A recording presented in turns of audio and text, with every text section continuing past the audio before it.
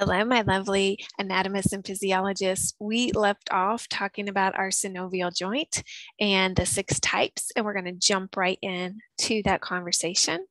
So underneath our heading of diarthrosis, let's remind ourselves that you can have a uniaxial um, joint, meaning that you get movement in one plane. We can have a biaxial joint, meaning that we get movement in two planes. And we can also have a multi axial joint, meaning that we get movement in all three planes. And when we're talking about those planes, we're talking about the frontal plane, the sagittal plane, and the transverse plane. Okay, so let's go through all six types. We are listing them out from the least amount of movement to the most amount of movement. And we'll describe them and then give some examples in the body. So our pivot is our synovial joint, but it does have the least amount of movement. It's going to be classified as uniaxial. This is defined as a bone that rotates within a ring formed from bone and ligament.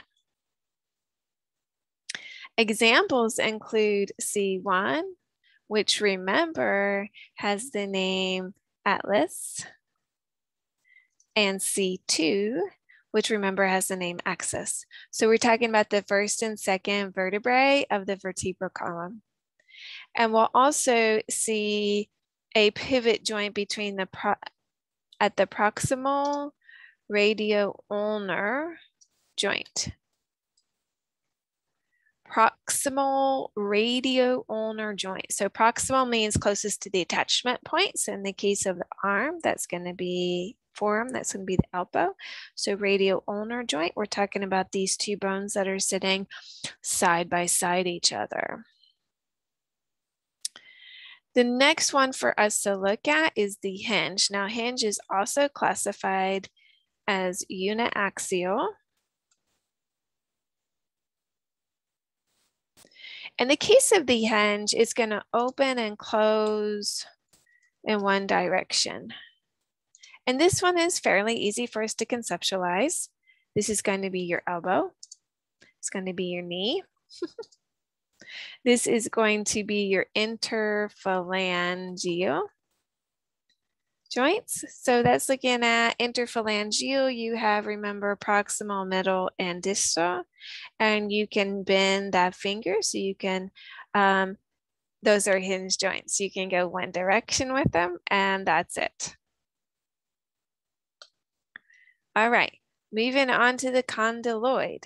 We are going to start seeing more movement.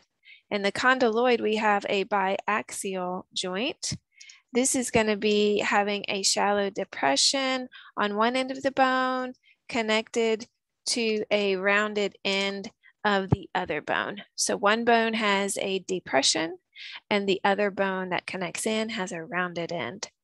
And we're going to see this in your metacarpo phalangeal joints. Metacarpophalangeal. So that's your knuckle. That's your knuckle joint there. So not only can we do our flexion, not only can we bring our fists together, but then we can also spread. So two planes of movement. And we get that also in the radiocarpal joint. So radiocarpal, that's your radius, and your carpal bones, which are your wrist bones. Okay, Moving next to the saddle. In the case of the saddle, we have another biaxial joint. So again, we're able to move in two planes. In the case of the saddle, it's named because both bones have a saddle shape um, to the end, so they fit together like a rider on a saddle. Examples of this would be the first carpo, metacarpal, carpo-metacarpal joint. So carpo-metacarpal, right?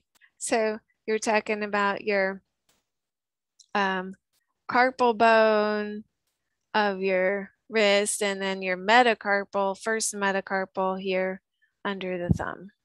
Okay. And then in addition to the first carpo metacarpal, we also have sternoclavicular. Sternoclavicular. So this is going to be a connection between the sternum and the clavicle.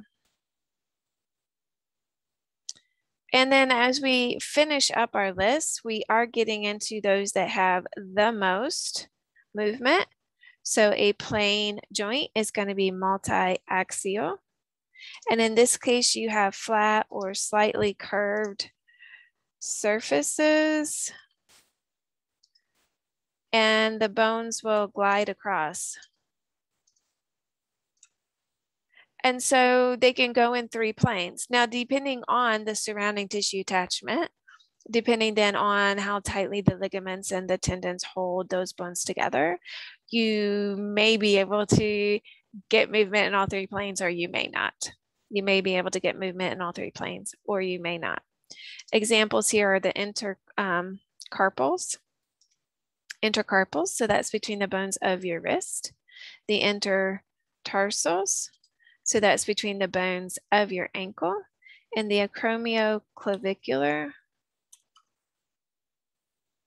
and the acromioclavicular.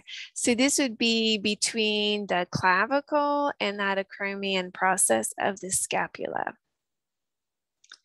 And the last one, the most movable of our synovial joints is the ball and socket. And the ball and socket is um, going to be multi-axial.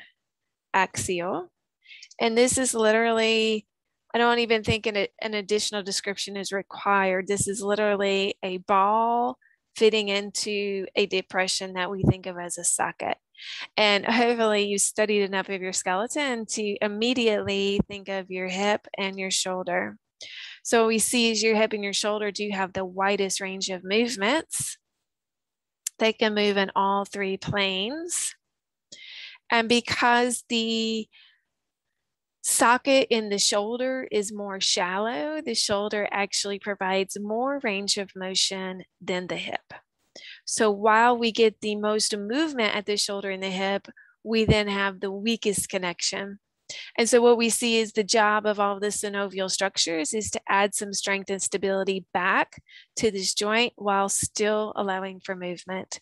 So stay tuned for a discussion of the synovial anatomy.